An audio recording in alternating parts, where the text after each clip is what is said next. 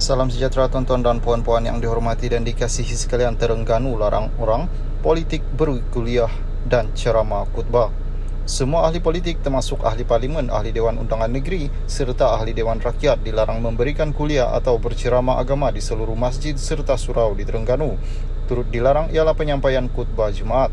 Menurut kenyataan yang dipertua Majlis Agama Islam dan Adat Melayu Terengganu, Sheikh Harun Sheikh Ismail Larangan tersebut dibuat agar semua tempat ibadat umat Islam di negeri itu tidak disalahgunakan untuk tujuan politik kepatian.